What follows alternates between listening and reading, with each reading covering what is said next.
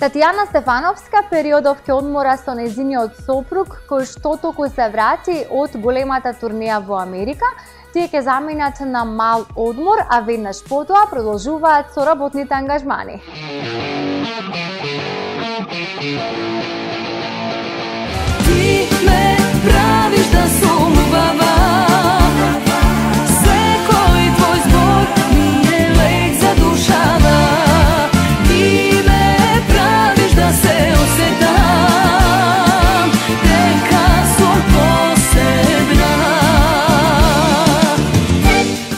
Ана Стефановска важи за една од најдобрите и најбарани фолк пејачки на македонската естрада.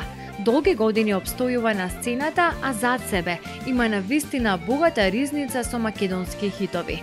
Но сето тоа не би било така доколку не ја има безрезервната поддршка од незиниот сопруг Митко, добро познат на јавноста како виртуоз на дувачки инструменти.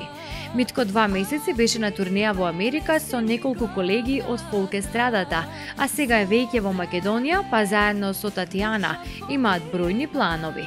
Како што открива пеачката во интервју за Интиви, тие периодов ке заминат на убав одмор со цел да го надополнат сето на време кога не беа заедно подоцна малку време за приватниот живот, мојот сопруг доаѓа од Америка, нели? Е, и тоа сакам да те прашам, како поминуваш без него?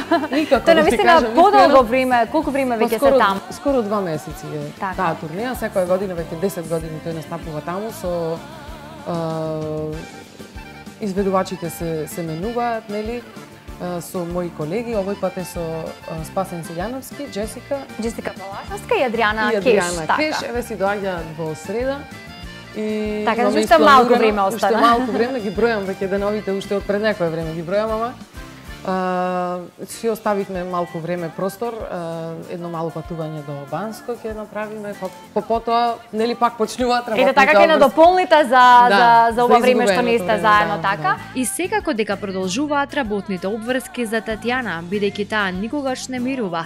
Пред само краток период го промовираше спотот за песната Избери, а најавува уште еден спот кој веќе е снимен, а во моментов се изработува во студиото на незините соработници од Ин Продукција.